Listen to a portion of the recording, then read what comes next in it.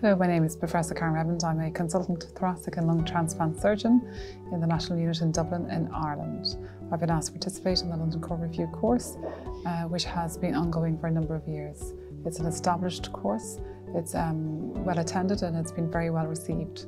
Uh, the curriculum is covered in its entirety, uh, which is very important for cardiothoracic junior doctors in training who really want to ensure that they have the knowledge base to move forward towards fellowship exams, intercollegiate exams or extra exams within their own countries at a later stage.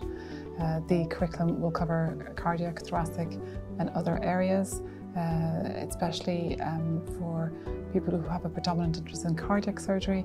It's important that they fully understand what's expected of them, their remit around what they need to know in thoracic surgery and vice versa.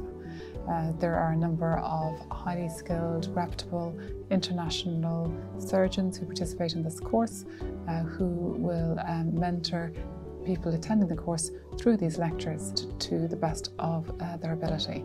Um, so I would uh, encourage uh, trainees to consider this course. It's important to give yourself the time um, to attend this course and to provide uh, for yourself and your uh, career development going forward and to be a successful applicant uh, in the exam when the time arises.